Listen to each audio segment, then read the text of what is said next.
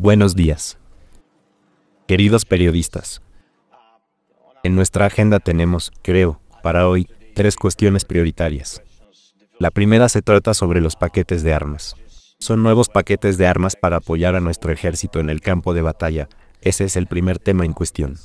La segunda, creo que será la invitación a formar parte de la OTAN. Y queremos estar en la misma página con todos. Que todos entendamos lo mismo. Y por hoy, lo que escuchamos y entendemos en este momento es que tendremos esta invitación cuando las medidas de seguridad realmente lo permitan.